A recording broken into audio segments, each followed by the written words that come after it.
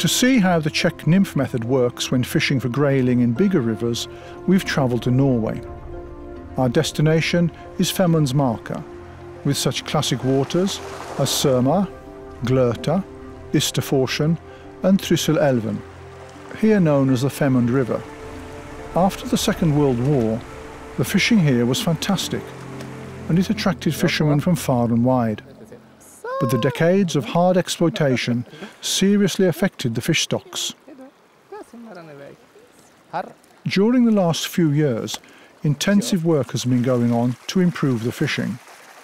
Special fly fishing zones have been designated and a lot of work has been carried out to improve the biotope. Furthermore, restrictions on catches and an increase in the minimum sizes for grayling and trout caught are being enforced. These measures have allowed the fish to increase in both numbers and average weight throughout the area.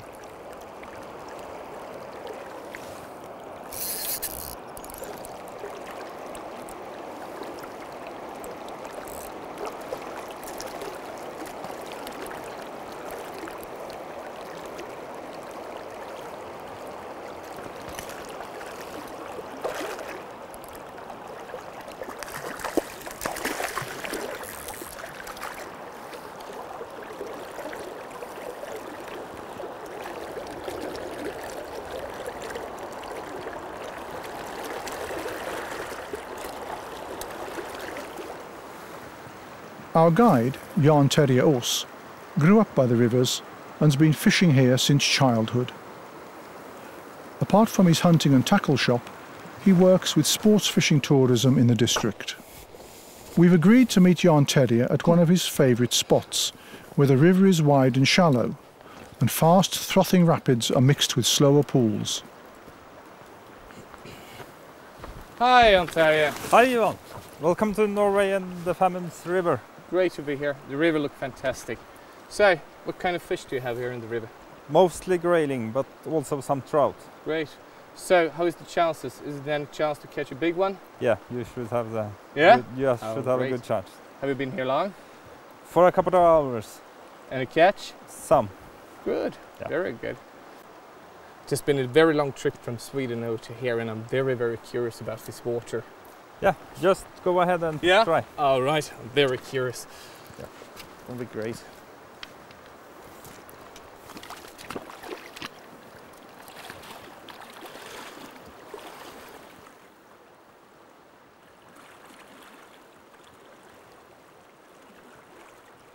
Jan Terje thinks the fishing will be good, even though we're already in September.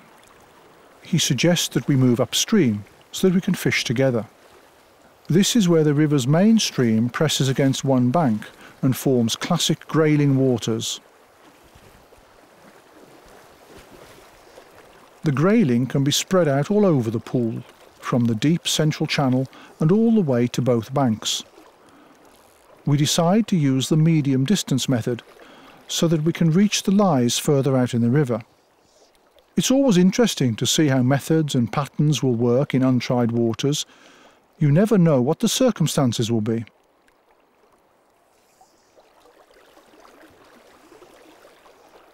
In no time at all, we get the first take. The leader jerks and indicates that a grayling has taken one of the three flies on the leader. The fish is about 35 centimetres long and just under the normal size for this river, according to Jan Terje.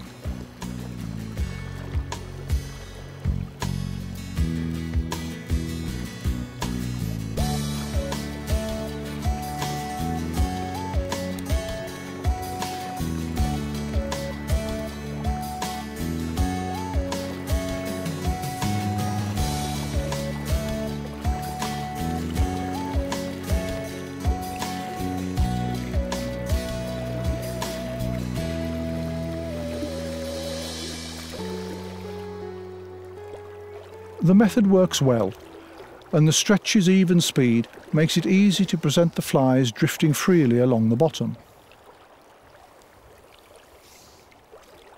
All the grayling have taken the heavier end fly, which is an imitation of a hydropsyche larva.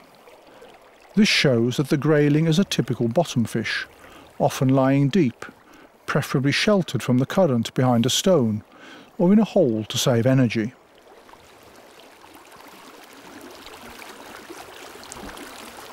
Even though Jan Terje hasn't tried this method previously, he soon picks it up.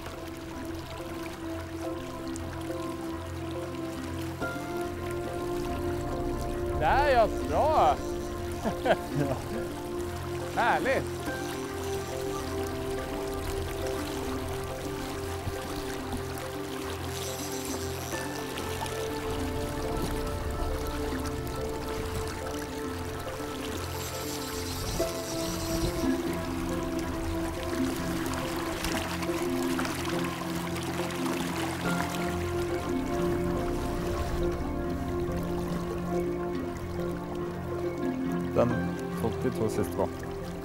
Jan Terje has caught lots of grayling just by the edge of this stream.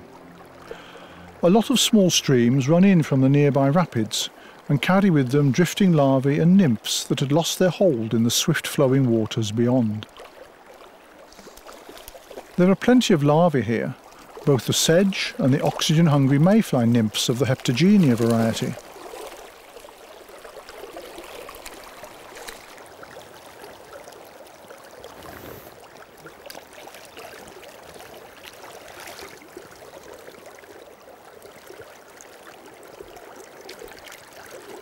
The smaller streams serve up food in a concentrated flow, so the fish don't need to move to reach it. If the inlets aren't too shallow, then this is a perfect lie for both grayling and trout.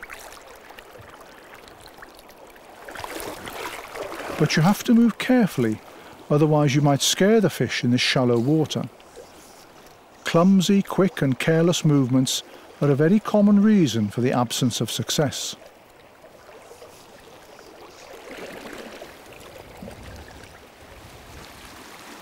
It's been a really good day's fishing, and both the short and middle distance methods worked well. But how will this method work in the evening, as the sedge hatch and the grayling focus their attention on the rising sedge pupae? Jan Terje takes us to a stretch further downstream. The currents are much fiercer, and there aren't any big deep pools.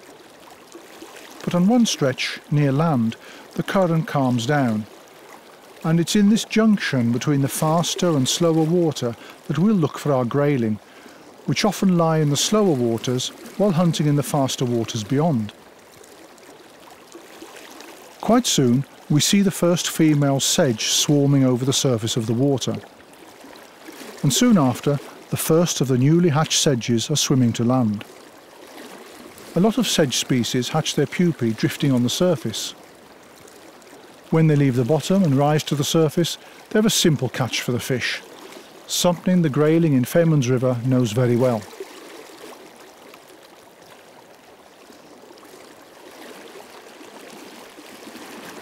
To start with, we fish the edges of the currents with the short distance method, which lets you present the flies exactly along the clearly marked edge. The rising sedge pupae will soon get the fishing going properly. At first, the fish take the end fly, as it's presented deep down near the bottom. But as the number of hatched sedge pupae increases, the grayling more often choose some of the flies on the droppers higher up the leader. The sedge pupae move straight up or diagonally across the current, so a dragging fly is a better imitation of a sedge pupa than a drifting fly. So it's more effective to keep the fly in the current a little longer before making a new cast. It's here the Czech nymph method shows one of its many advantages. By first letting the flies sink towards the bottom and then giving them a rising movement towards the end of the drift, you provide a very natural imitation of the hatched sedge pupae. Flies with a silver or gold head have worked best during the evening. The glimmer of the metallic heads almost imitates the gas-filled bodies of the sedge pupae, which allows them to rise more quickly to the surface for hatching. This was the thinking behind the work of Theo Bakelaar, the Dutch fly tyer, who was first to put gold heads on his flies. The evening gave us a lot of good grayling in various sizes, and almost all of them were taken on an imitation of a rising sedge pupa.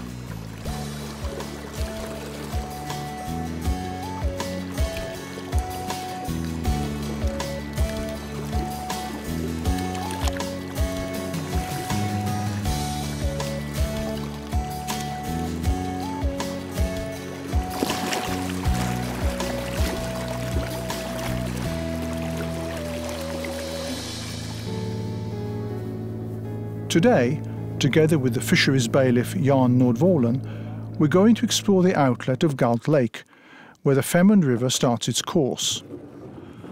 Galthudet, as the place is known, is classic water, which has long been a favourite of fly fishermen.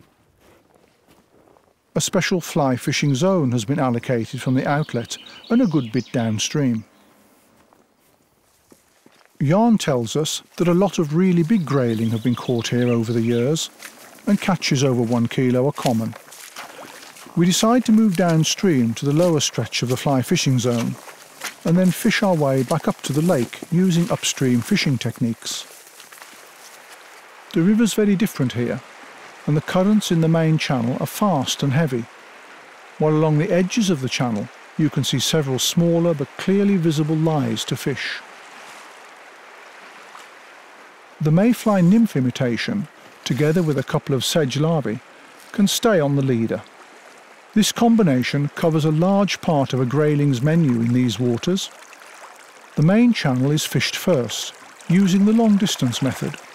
The first take comes at once, and a smaller grayling has taken the middle fly, a jig nymph,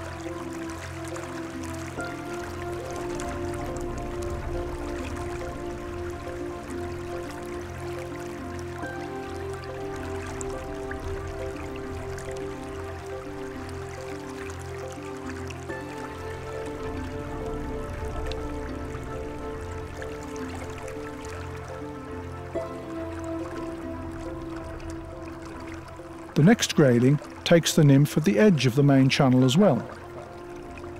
The mayfly nymphs are moving, and the grayling are definitely starting to eat them. The flies don't often drift very far before the nymph is taken. A sure sign the grayling are choosing to take the nymphs on their way up to the surface.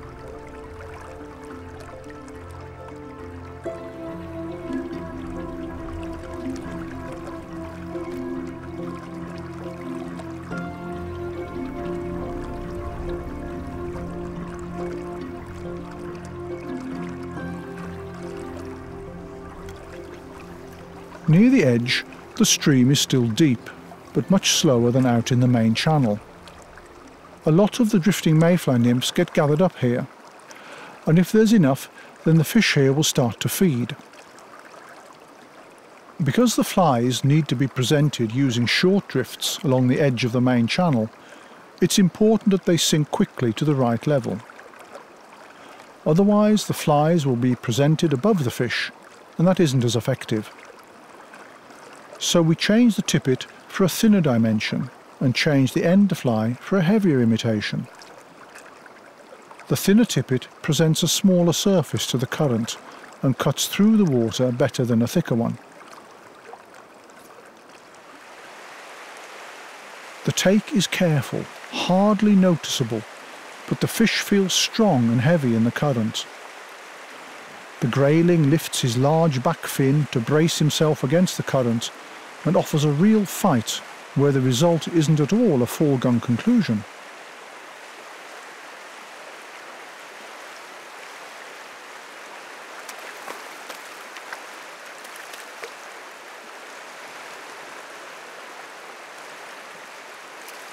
This grayling also took the jig nymph, which seems to be the fly of the day.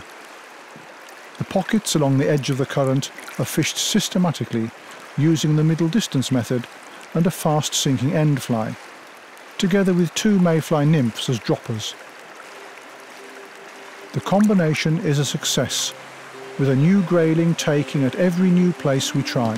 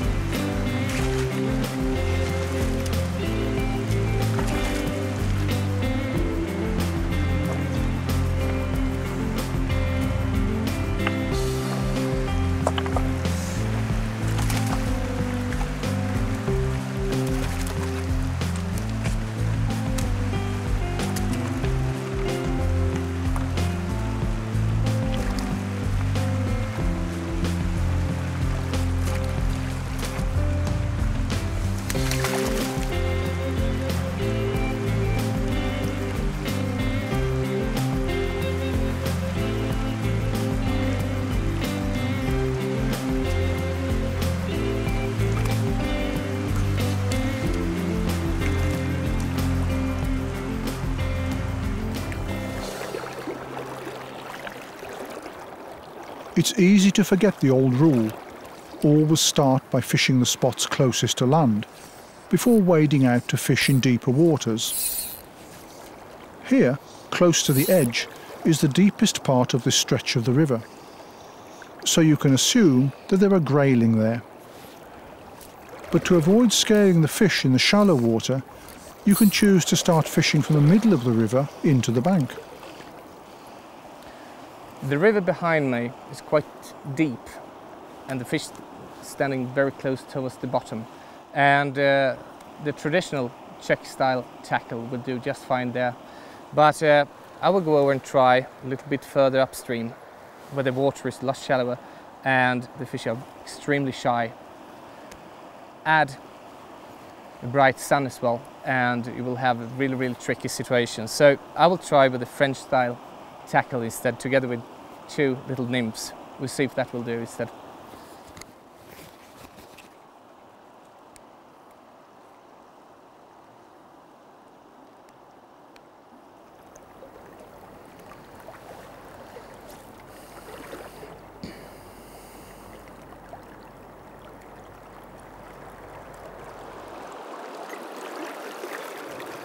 You notice the take when the coloured line in the middle of the leader jerks. It can be hard at first to see the difference between what's really a take and what's a snag. But after you've landed a couple of fish, you won't be mistaken. The take shows itself in an obvious, quick movement which is clearly visible.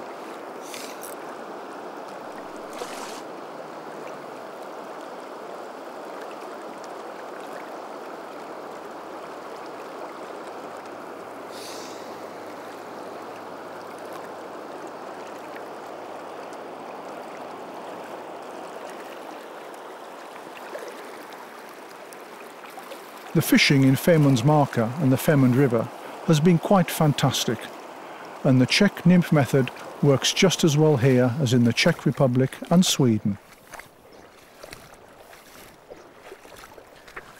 The Czech nymphing technique is a great technique to do well in all kind of rivers and streams all over the world, both grayling and brown trout.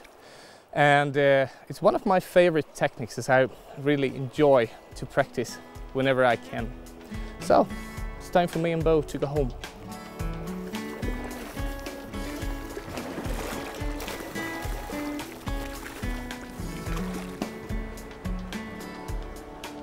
There are lots of interesting and exciting techniques to be tried out when fly fishing, some more difficult to learn than others. Everyone can learn the Czech nymph method, and you've seen it used successfully in Norway, Sweden and the Czech Republic. Now it's up to you to try the method and adapt it for your own home waters. Good luck!